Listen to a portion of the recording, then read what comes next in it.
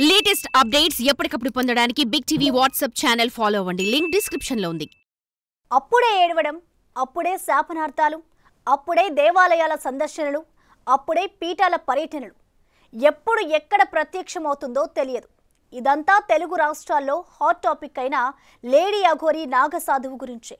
రకరకాల డౌట్లు రకరకాల ఊహాగానాల మధ్య అఘోరి హైటెన్షన్ తెలుగునాట వాతావరణాన్ని వేడెక్కిస్తోంది.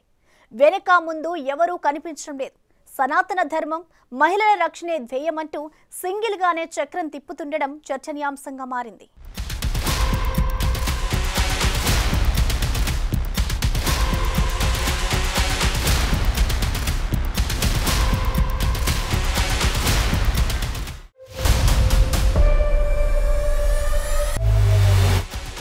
నేనేంటో చూపిస్తా.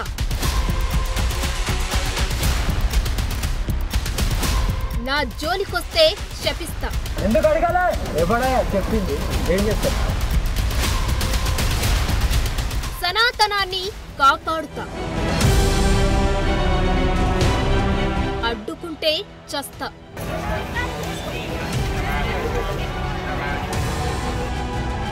ఇది లేడీ అఘోరి వరస.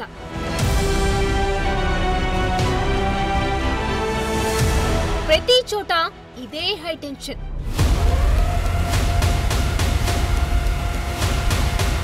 ప్రచారం కోసమేనా?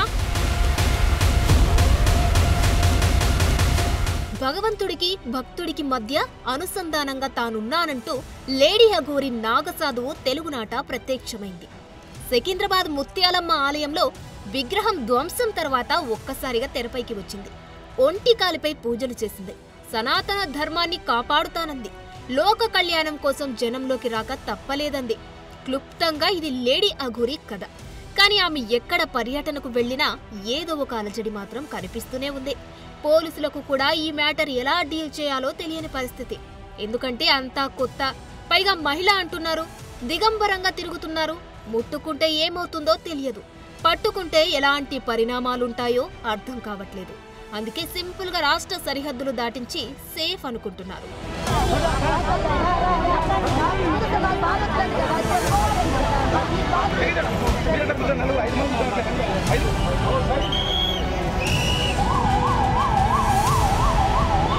నిజానికి అఘోరాలు అఘోరీలు నాగ సాధువులు జనంలో కనిపించరు.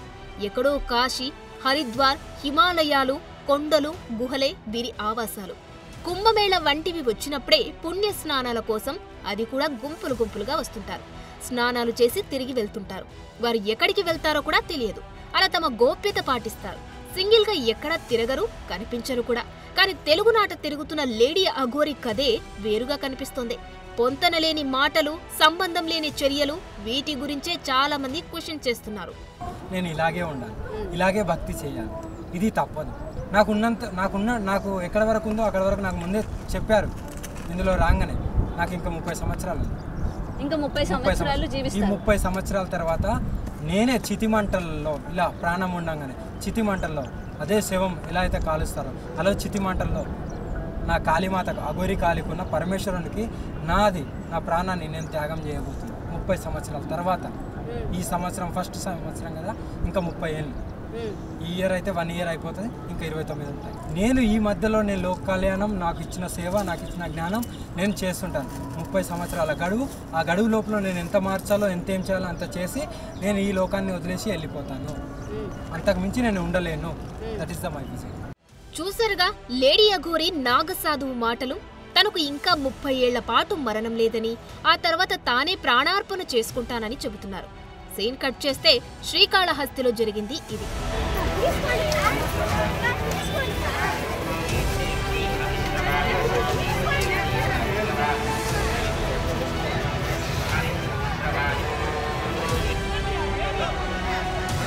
చూశారుగా శ్రీకాళహస్తి వెళ్ళిన లేడీ అఘోరిని అక్కడ సిబ్బంది అడ్డుకున్నారు. వస్త్రాధారణపై ప్రశ్నించారు. దుస్తులుంటేనే లోపలికి అనుమతిస్తామన్నారు. తన శివయ్యను అలాగే దర్శించుకుంటానని అఘోరి వాదించింది. కోపగించుకుంది. శపించేందుకు సిద్ధమైపోయింది. వెంటనే కారులో పెట్రోల్ క్యాన్ను బయటకు తీసి ఇదిగో ఇలా ఒంటిపై పోసుకుంది. అక్కడే ఆత్మార్పణ చేసుకుంటానంది. వెంటనే మహిళా పోలీసులు ఇతర మహిళలు వచ్చి నచ్చజెప్పి సర్ది చెప్పి అక్కడి నుంచి పంపించారు.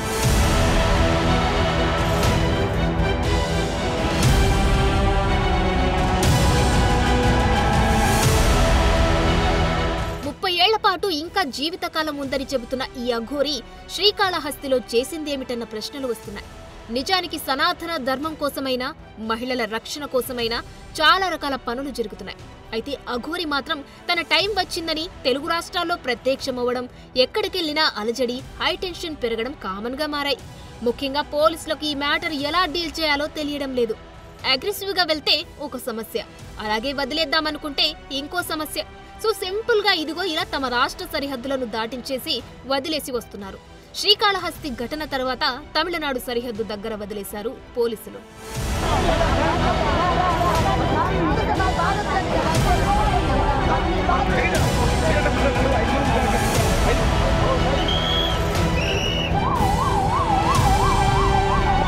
అఘోరాలు అఘోరీలు నాగసాధువుల లెక్క వేరుగా ఉంటుంది. వారి పర్యటనలు రహస్యంగా సాగుతుంటాయి. కానీ ఇక్కడ లేడీ అఘోరి రూటే సపరేట్గా ఉండడంతో వెళ్ళిన ప్రతి చోట అలజడి రేగుతుంది. మొన్నటికి మొన్న తెలంగాణలో కొండగట్టు అంజన్న కొమరవెల్లి మల్లన్న వేములవాడ రాజన్న దర్శనాలతో వాతావరణం వేడెక్కింది. అఘోరి మాత స్వస్థలం మంచిర్యాల జిల్లా కృష్ణపల్లి. చిన్నప్పుడే ఇంటి నుంచి వెళ్ళిపోయారని తల్లిదండ్రులు అంటున్నారు. అఘోరి మాతగా మారితే తాము చేసేదేమీ లేదంటున్నారు. కొడుకు శ్రీనివాస్. ఏడు సంవత్సరాలు అలా పోయిండు. ఇక వచ్చిండు.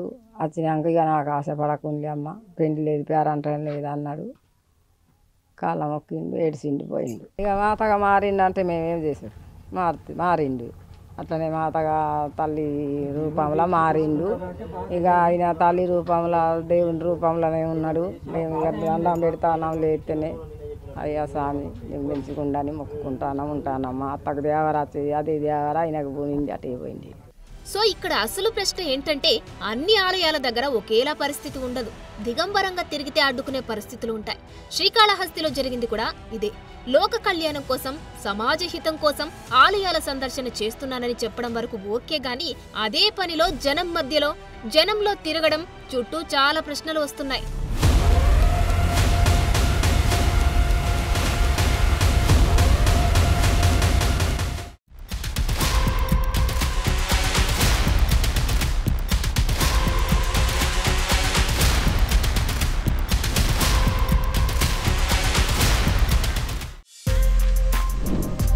For more videos like this, subscribe Big TV channel